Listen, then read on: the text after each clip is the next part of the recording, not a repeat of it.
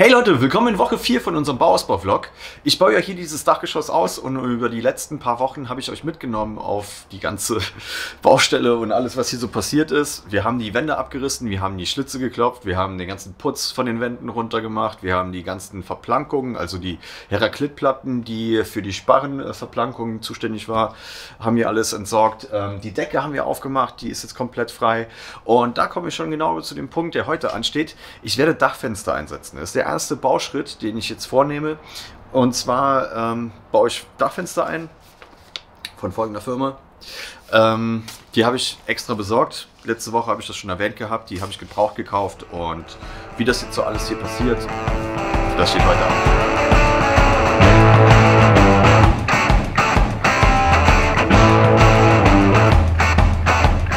Ja, ich habe mich für folgendes Fenstersystem entschieden. Und zwar geht es um die Fenster der Firma Velux. Ähm, die, die letzte Woche das Video schon gesehen haben, ich habe die Fenster gebraucht gekauft, weil die Firma momentan Lieferschwierigkeiten hat. Das heißt, die Fenster, die ich ausgesucht habe, also die Größe und auch die Fenster, die ich jetzt äh, einbauen möchte, waren nicht lieferbar. Das heißt, ich hätte locker zwei, drei Monate warten müssen oder mehrere Wochen zumindest, bis die lieferbar sind und erst dann mich um den Einbau kümmern und so weiter. Und so lange möchte ich einfach nicht warten. Denn ähm, die Dämmung steht an, der Winter steht vor der Tür und da sollten schon die Fenster vorher drin sein, bevor man jetzt anfängt, die komplette Zwischensparendämmung zu machen. Das heißt, das ist für mich auf jeden Fall der erste Schritt. Damit fange ich an mit dem Ausbauprozess hier oben und ähm, da war es mir wichtig, dass es ein bisschen schneller geht. Äh, glücklicherweise ist es ja so, dass man bei der Firma hier verschiedene, ja, wie soll ich sagen, Nummern hat. Man sieht es hier auf der Seite ganz gut. Da wird das ganz gut beschrieben. Da gibt es verschiedene Systeme. Hier müsste man sehen, GGU, GGL, bla bla bla. Ähm, und anhand der Nummern, beziehungsweise der Zahlen-Ziffern-Kombi, ähm, weiß man genau, welches Fenster man hat oder was man genau suchen muss.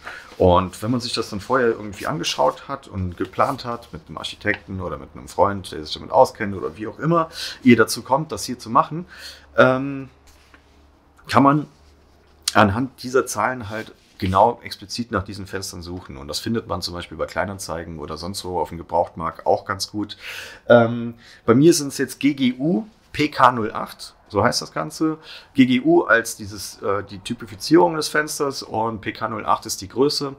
Und das sind jetzt ist so ein Schwingfenster. Ich habe das hier unten, ich zeige euch das gleich nochmal genau. Ähm, das ist so ein, so ein, so ein Ausklappfenster.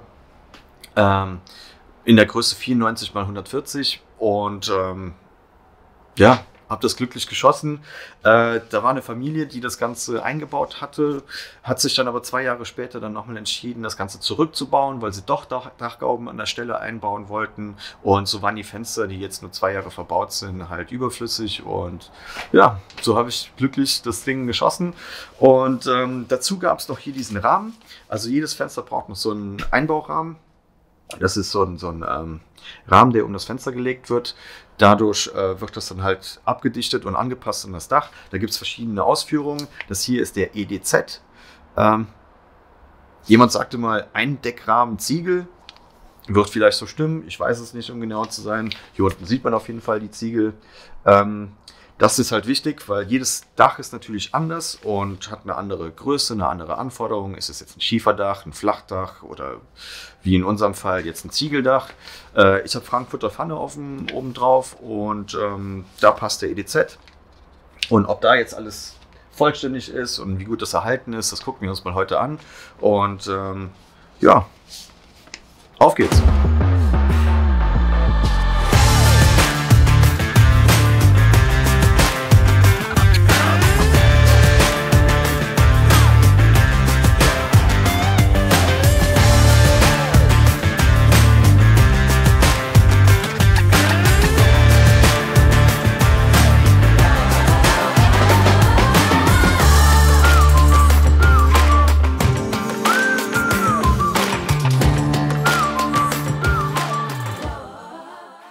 So, da ist das gute Ding. Also ich habe jetzt mal alles mal ein bisschen ausgelegt, äh, mich an den Plan gehalten, mal geguckt, ob alle Bauteile da sind und äh, in welchem Zustand das Ganze ist, gucken wir uns jetzt mal an. Ähm, ich erkläre euch das einfach ein bisschen so wirklich laienhaft. Ich habe keine Ausbildung da drin. Ich habe mich auch nie wirklich damit befasst, mit einem Dachfenster, wie die meisten von euch wahrscheinlich auch noch nicht, bis zu dem Punkt, wo man sie mal braucht. Ähm, aber nehmt einfach mit, was ihr könnt. Irgendwann ist ja immer das erste Mal und so sieht das Ganze aus. Also ein Dachfenster unterscheidet sich natürlich von einem normalen Fenster in der Form, dass es in die Dachfläche eingebaut wird. Das heißt, es wird oben äh, direkt aufs Dach draufgelegt und äh, eingebaut und kommt nicht wie normale Fenster in so einen Rahmen rein, sondern äh, liegt halt oben auf dem Dach auf. Ja, äh, ich habe mich hier für so ein Schwingfenster entschieden. Das heißt, es wird genau in der Mitte. Da kommt der Einbaurahmen von dem Fenster. Ähm, da werden die dann eingehangen an diese, diese Scharniere und man kann die halt in der Mitte raus ausschwingen. Da gibt es verschiedene Varianten. Äh, jetzt wie gesagt bei Velux ähm, haben die so ein cooles System mit, mit, mit einer äh, Buchstabenkombination. Und anhand, der Buchstabenkombination kann man schon mal rausfinden, äh, was für ähm, Extras oder Gadgets das Ganze haben muss. Also wie gesagt, es gibt Fenster, die gehen oben an den, direkt oben an der Kante auf oder wie jetzt in meinem Fall an der Mitte. Und ähm, so kann man sich dann halt anhand der, der Buchstaben nachher auswählen, was man haben möchte. Ich habe jetzt das GGU. Das hat zum Beispiel so eine Besonderheit, dass es, äh, wenn wir hier an dem Fenster mal gucken, hier an dem Griff, den man oben hat, der macht hier oben noch mal so einen Schlitz auf. Das öffnet hier diese Lüftungsschlitze. Und man muss sich das so vorstellen, dass man dann halt hierdurch, durch diese Öffnung, halt nochmal so eine Belüftung hat. Also man muss das Fenster nicht komplett aufmachen. Es reicht, wenn man oben einfach nur diesen aufmacht und ähm, halt so einen Durchzug halt generiert. Das ist so etwas, wo sich die Eltern dann immer freuen oder irgendwelche Vermieter oder sonst irgendwas. Äh, wenn nämlich das Fenster nicht 100% geschlossen ist und man einfach nur den Griff so auf eine Stufe runter macht und nonstop so einen Durchzug produziert, heizt man sich natürlich im Winter dann tot. Ne? Also ich meine, in dem Moment, wo da so ein Luftzug entsteht und die warme Luft dadurch entweichen kann äh, und man das vergisst, ähm, ja, das sind so, so äh, kleine Kostenfallen dann für Leute, die, die da nicht drauf achten. Ja, das soweit mal ganz grob zum Fenster. Das sind, wie gesagt, nur die Fensterscheibe in dem Schwingrahmen. Dann kommt das Fenster, der Fensterrahmen selbst, der auch hier an diesen Winkeln halt dann nachher an den Sparren oder an den Balken, je nachdem, wie das montiert ist, an den Rahmen, halt festgemacht wird. Und ähm, das so das Standardsystem. Aber jedes Dach ist natürlich anders und um das Ganze dicht zu bekommen und die ganzen Wasserläufe halt an das Dach anzupassen, an die entsprechende Dachbedeckung, Abdeckung, gibt es halt noch diese ähm, Eindeckrahmen. Ja, und jeder Eindeckrahmen, da gibt es passende für, für entsprechende Dächer. Das hier ist der EDZ. Ähm, der ist halt für die Ziegeln bis zu 45 mm hoch, ähm, für ein Stalldach. Und ähm, das ist das, was wir brauchen. Und da sollte man jetzt ein bisschen drauf achten, ob da jetzt alles da ist, äh, beziehungsweise ähm, den kann man auch neu kaufen. So teuer sind die nicht. Die kosten einzeln, glaube ich, unter 200 Euro oder so, direkt vom, vom, vom Lieferanten. Also äh, da muss man jetzt nicht unbedingt dran sparen. Ich habe ihn halt jetzt nur dazu bekommen und äh, wenn er jetzt schon da ist, einfach mal gucken, ob da irgendwelche Beschädigungen sind, weil beim Ein- und Ausbau kann natürlich immer irgendwie irgendwas passieren. Da müssen jetzt zum Beispiel, nur um ganz grob zu erklären, die Teile hier dann zum Beispiel an den entsprechenden Ziegel angepasst werden und umgeknickt werden. Das äh, sieht natürlich dann hier und da für ein Laien ein bisschen wild aus, wenn man da ein bisschen am Rumdrücken ist und die Bleche halt dann verformt. Das soll natürlich alles nachher passen. Auch die ganzen Lamellen, dass sie noch, noch funktional sind und das Ganze auch richtig abdichten. Ähm, genauso wie hier diese Schürze, ob da jetzt irgendwas... Ähm, ja, löchrig ist oder so. Also die könnte man auf jeden Fall neu machen, weil die wird dran geklebt und beim Abreißen, ja, man sieht es ja schon, da kann immer hin und da mal irgendwas, ein Loch entstehen und nachher nicht richtig dicht sein. Und an so kleinen Sachen darf das nachher natürlich nicht scheitern, äh, wenn, wenn euch nachher das da irgendwie Wasser reintropft auf die Dämmung oder so oder ins Dach rein.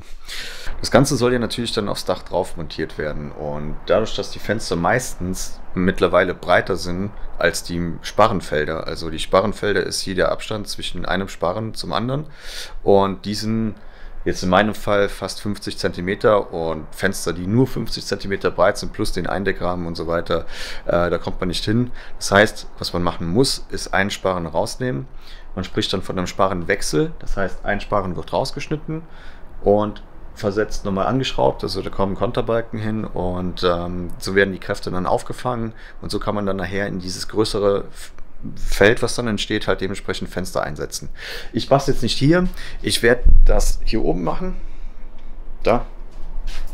Da gehen wir uns gleich mal nach oben das Ganze angucken und abmessen.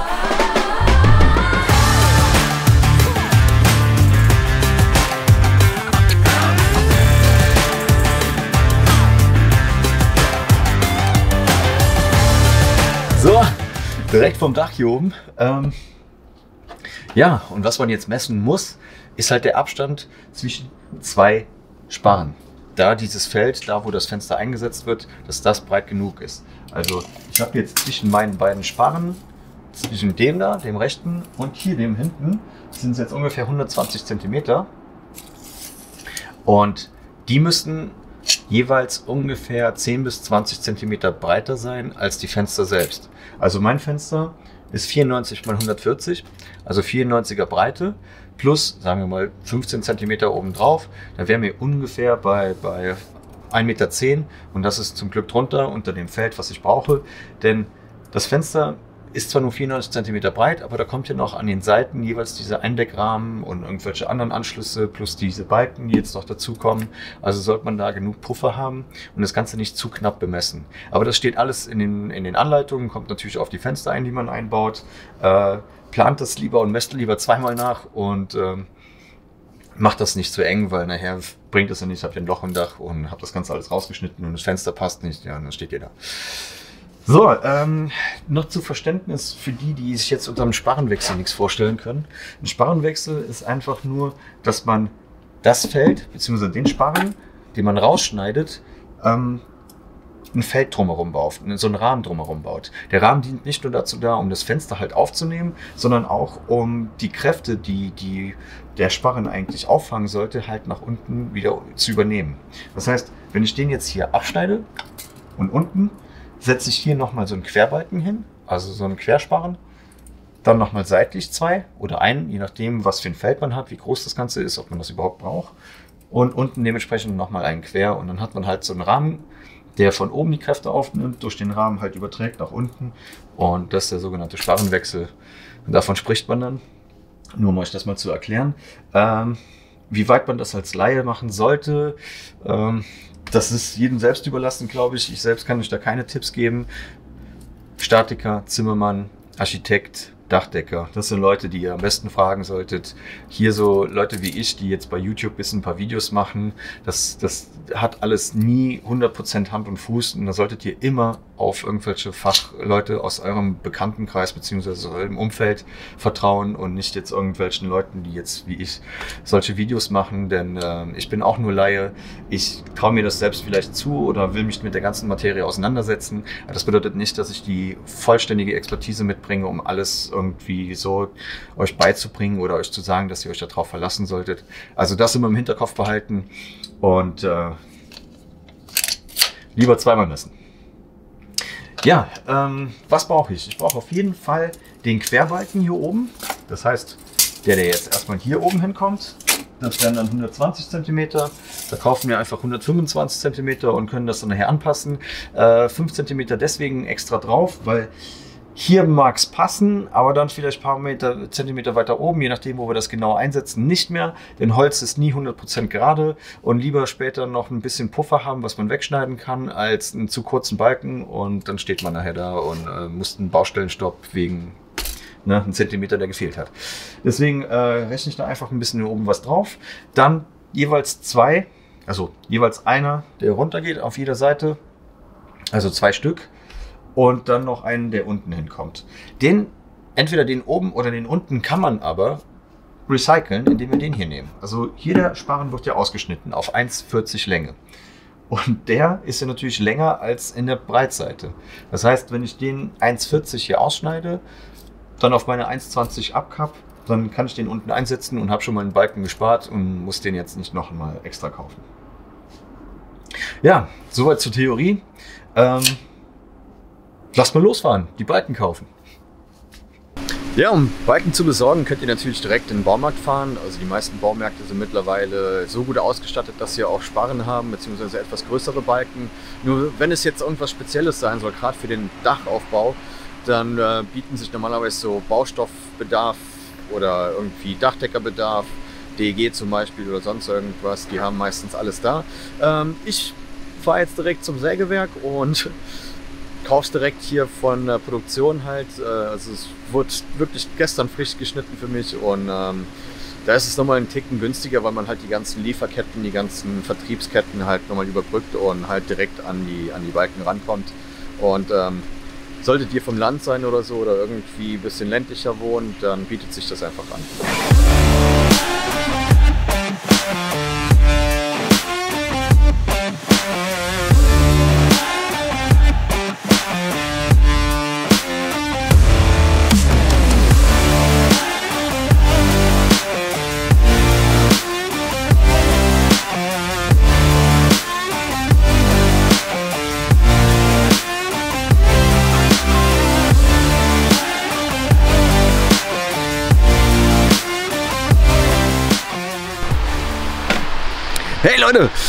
Wir sind jetzt direkt am Dach drauf. Also ich habe jetzt alle Materialien hier hochgeschleppt.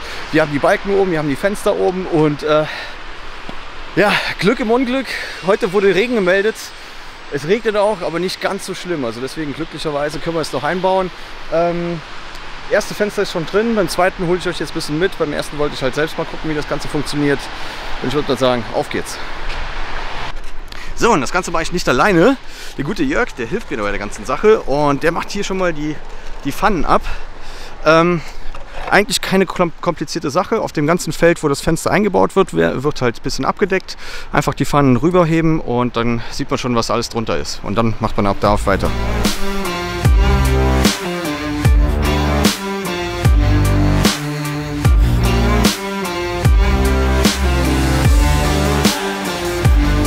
Okay, jetzt ist das Feld freigeräumt und jetzt schneidet man einfach oben mal auf, guckt sich das Ganze mal an, wie es da unten aussieht. Die Sparren erkennt man ja eigentlich direkt, weil hier direkt die, die Nägel sind. Und schwupp, ist, ist ein Loch im Dach. Und die Rechnung erhöht sich direkt auf 10.000 Euro.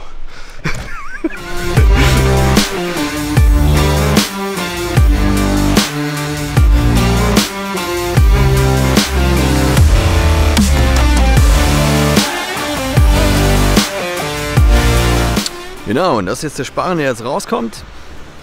Zack. Und jetzt haben wir genug Luft für das Fenster.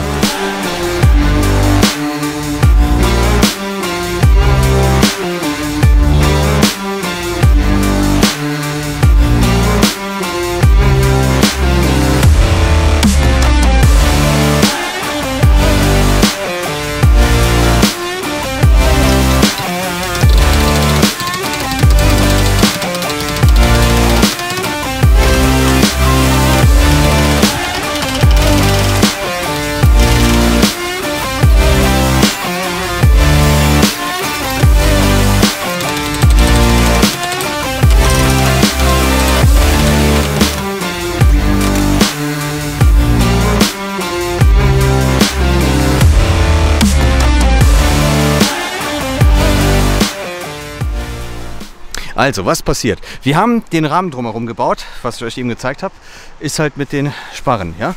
Ähm, dann haben wir den Fensterrahmen festgemacht. Der wird an diesen Winkeln direkt an den Rahmen ähm, verschraubt gegen diese Lattung. Also da kommt nochmal eine externe Lattung hin, die genauso hoch ist halt wie die, ähm, oh, wie heißt das nochmal, Traglattung von den Ziegeln.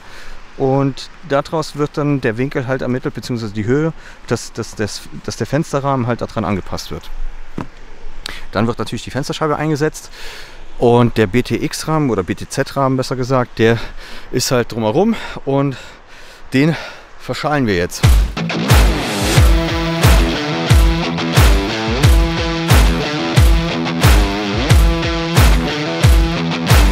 Wir haben jetzt drumherum diese Schütze halt angeklebt und jetzt kommt halt dieser, dieser Rahmen drumherum und das sind diese Ablaufrinnen, wo nachher quasi die, äh, das Wasser halt ablaufen kann. Also jetzt, das ist jetzt quasi der Abdichtrahmen zwischen Fensterrahmen und halt Dach.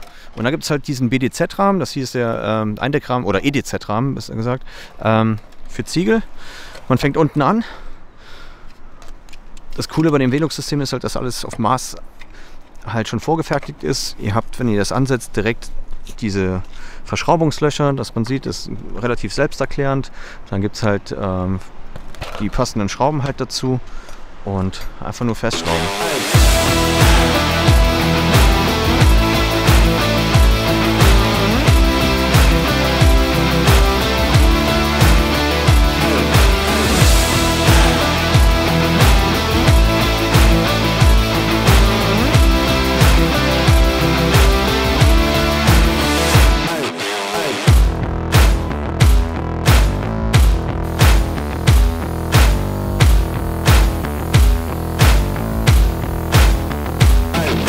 Was wir jetzt noch montieren, ist das SSL. Das ist so ein Solar-Rollo quasi für das PK08. Und äh, hier auf der einen Seite habe ich das schon drauf. Das ist halt hier so ein Modul, was hier oben drauf kommt. Das ist halt der, der Rollladenkasten, äh, wird solarbetrieben und man hat unten eine Fernbedienung und kann das Ganze hoch und runter steuern. Das zeige ich euch nachher nochmal genau. Aber das ist das, was wir jetzt noch hier montieren auf dem Nachbarfenster. Und dann sind wir schon durch. Okay, beide Fenster sind montiert, die Rollokästen auch. Und das war's so. Also was wir jetzt noch gemacht haben, sind natürlich die ganzen äh, Pfannen drumherum angeschlossen, beziehungsweise auf Maß geschnitten, sodass die auch überlappen, sodass die genau über diesen, diesen Rahmen drüber gehen. Dann haben wir noch diese Rollokästen dran gemacht, also diese Solarkästen. Und dafür gibt es dann halt die Fernbedienung, die man anhand von unten bedienen kann. Und einmal kurz antippen und dann geht der Rollokasten auch zu. Das Geile bei dem System ist halt, dass man einen Akku hat, der sich über Solar auflädt und dass man nur ab und an, wenn man den Rollokasten halt braucht, halt eben diesen Strom hat und man muss kein, kein Kabel nach innen ziehen oder ja, keine, keinen separaten Schalter unten haben oder so. Man hat einfach hier diese Fernbedienung und super easy das System. Ja, das war's soweit vom Dach.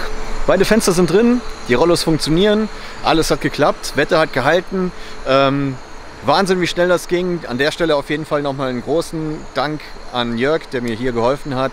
Ähm, wenn ihr hier so ein Bauprojekt habt und irgendwie Handwerker im Freundeskreis oder sonst irgendwie, ähm, das ist Gold wert einfach. Also wie leicht das einfach hier von der Hand ging mit, mit ein bisschen Fachwissen. Ähm, auf jeden Fall vielen lieben Dank dafür. Und ähm, an alle anderen, das Video soll jetzt nicht irgendwie ein How-To sein. Das sollte jetzt nicht sein, irgendwie guckt zu, wie ich das Ganze mache und wie das Ganze funktioniert. Dafür gibt es andere Videos von, von Fachleuten. Ich bin selber nur Laie. Ich kann euch nur irgendwie zeigen, wie ich das Ganze hier so umsetze. Und so sind die Videos eigentlich gedacht. Die sind mehr dafür gedacht, einfach mal euch mitzunehmen auf den ganzen Bauprozess und wie das Ganze so ungefähr funktioniert, welche Arbeitsschritte man machen muss. Aber es sollen keine hundertprozentigen Anleitungen sein, äh, keine Blaupausen für Leute, die das dann selbst machen wollen, sondern einfach nur Impressionen, damit ihr das Ganze halt für euch selbst entscheiden könnt, wie ihr das Ganze gestaltet. Denn ähm, ich als Laie kann euch und darf euch auch überhaupt gar keine Tipps geben und ihr solltet doch niemals irgendwie solchen YouTube-Filmen, die wir hier so machen, irgendwie 100% vertrauen vertrauen, denn ähm, ich ziehe mir auch irgendwas an den Haaren herbei manchmal, um irgendwas zu erklären, ohne, ohne jetzt so tiefes Fachwissen zu haben. Und bevor ihr euch da irgendwelche Fehler einbaut oder so, nur weil ich das jetzt mal hier so gemacht habe, für mich selbst, ähm, immer vorsichtig sein bei sowas. Also das an der Stelle einfach nur mal gesagt. Ja, aber dennoch freut es mich natürlich, dass ihr euch die Videos hier anschaut und ähm, noch mehr würde es mich freuen, wenn es irgendeinen von euch irgendwas bringt. Also, dass ich euch mit irgendeinem Bauschritt oder so helfen konnte, mit irgendeinem Prozess, dass ihr euch das mal anschauen konntet. Ähm, wenn ja, schreibt es doch einfach in die Kommentare, das würde mich freuen. Ansonsten lasst ein Abo da, das hilft uns YouTubern auf jeden Fall. Und ja, ansonsten, wir sehen uns nächste Woche wieder. Bis dahin, macht's gut. Ciao. Und ich habe neue Fenster in der. Yes! Oh, war ein toller Tag hier oben. Woo. Aber sowas, wenn man das sich selbst nicht zutraut oder so, Fachmänner machen sowas gerne. Dürfen so ein bisschen rumschneiden, Balken cutten. Bisschen rumkloppen. Sonntags kommen sie auch gerne.